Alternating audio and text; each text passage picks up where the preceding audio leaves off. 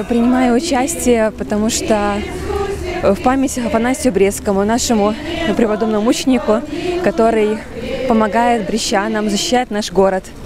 Вот молюсь о здравии своих родственников, о том, чтобы наша Беларусь была едина, была цела, вот, и чтобы защита была именно православных святых.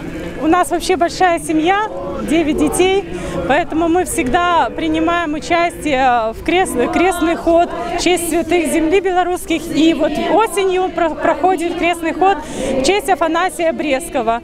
Мы э, чтим память, проходим его крестный путь, крестные страдания, вспоминаем, которые он претерпел за то, чтобы мы могли спокойно исповедовать свою веру и быть со Христом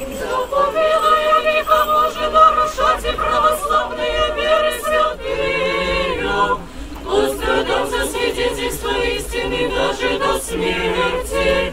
Мы же, что же святыми Твоя содержновение взываем Ти. Отче наш преподобный мучениче Афанасий, похвалу и украшение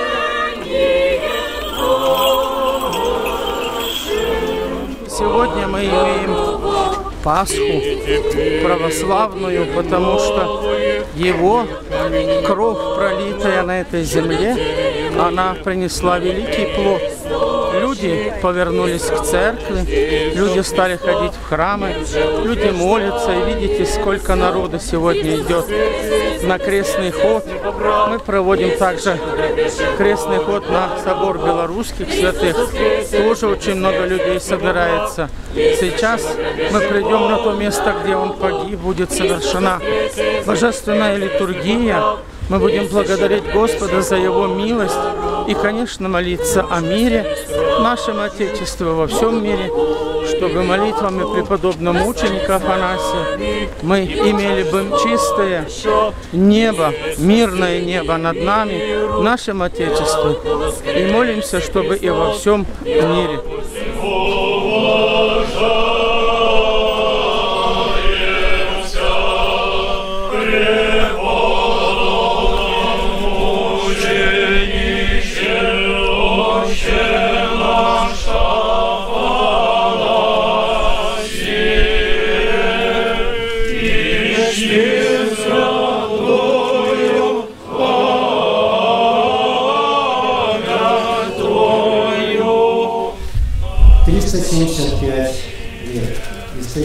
Когда здесь, на этом месте, закончил свою жизнь великий сын белорусского народа, который горел любовью и горячей верой.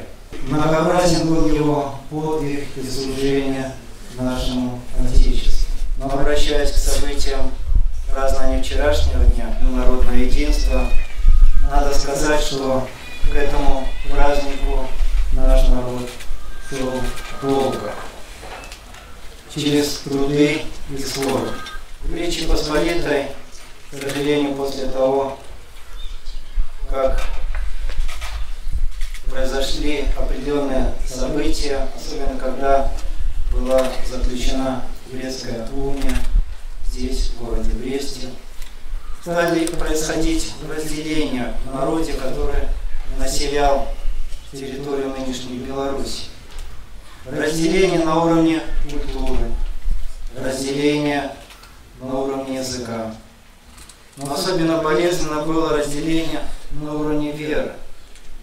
Потому что когда насильственно старались изменить веру людей, это вызывало определенная горечь, скорбь и противление. И святой преподобный научник Афанасий, он шел этим непростым путем.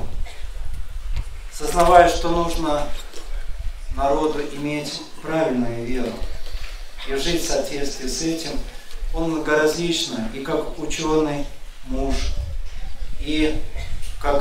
выдающийся проповедник, и в то же время при необходимости он и как литератор – поэт излагал свои мысли.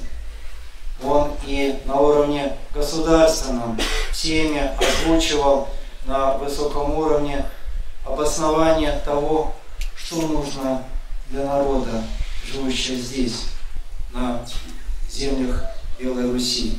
Высказываясь в поддержку православной вере, он никогда не допускал пренебрежительного, уничижительного отношения к отдельным людям. И можно сказать, что он был преемником в своем служении от святой праведной Софии, княгини Слуцкой. Затем свое служение, можно сказать, он передал следующему святому нашей земли, святителю Георгию Канинскому. Затем его служение было воспринято многими учеными, которые так или иначе были связаны с православием. И тогда же, в XIX веке, вот эти имена выдающихся людей Ивана Ивановича Носковича, Ратрея, Яна Григоровича, академика Карского, которые сформировали понимание, кто такие белорусы. Были выпущены соответствующие и книги, учебные пособия, словари, все, что свидетельствовало о том, как формировался наш белорусский народ. Пусть же и сегодняшний день, и память святого великого подвижника, преподобного мученика Афанасия вдохновляет нас на продолжение тех трудов наших предшественников, славных, святых, великих. Хочу от себя лично, от всех брещан и от имени нашего губернатора Юрия Викторовича Шурейка, безусловно, в дар подарить вам икону Афанасия Брестского, чтобы он защищал всю нашу родную Беларусь и только на благо нашего народа и под светлым мира и неба. А вас с праздником желаем вам здоровья и того, что вы сами себе задумали на благо нашего народа. С днем рождения вас! Преподобному очень чеча Афанасию, моли Бога. И сестры